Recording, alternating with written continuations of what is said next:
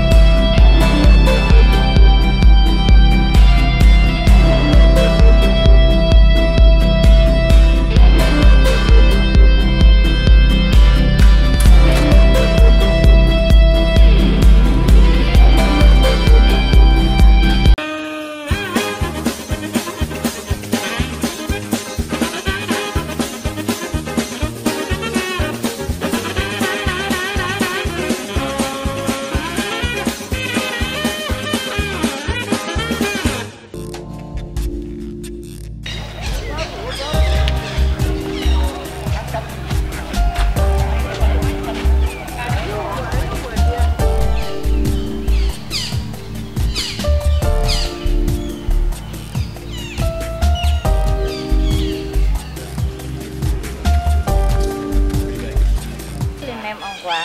Au-dessus des colonnades, au-dessus des linteaux. Au-dessus les murs aussi, des cafés.